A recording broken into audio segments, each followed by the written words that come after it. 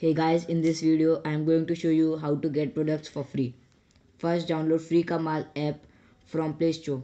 I have already downloaded the app. Then open the app.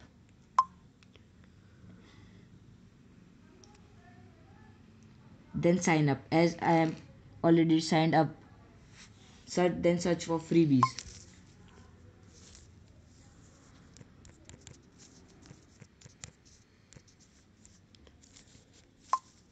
And then look for the uh, products which are of 0 rupees and then click on it.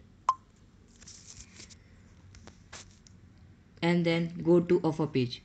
Fill the form add all required details select a flavor submit then. That's it. Go to offer page with the help of FreeKaaMaal